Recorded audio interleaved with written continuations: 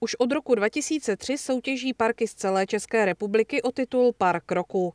Anketu každoročně vyhlašuje profesní združení Svaz zakládání a údržby zeleně. Do soutěže mohou být přihlášeny parky po rekonstrukci, revitalizaci i nově založené. Své želízko v ohni má letos i Prostějov. Nový park okružní dnešní Mládkovy sady soutěží v celorepublikové soutěži Park roku 2021.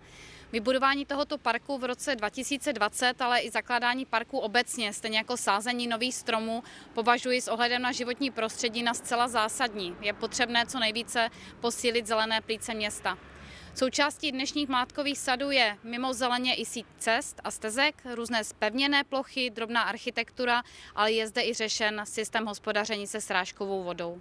O titul bojuje 12 parků. Ten nejkrásnější vybere odborná porota. Hlasovat ale můžete i vy, a to až do 15. října. Park, který obdrží nejvíce hlasů, získá cenu veřejnosti. Slavnostní vyhlášení by mělo proběhnout 21. října v Pardubicích.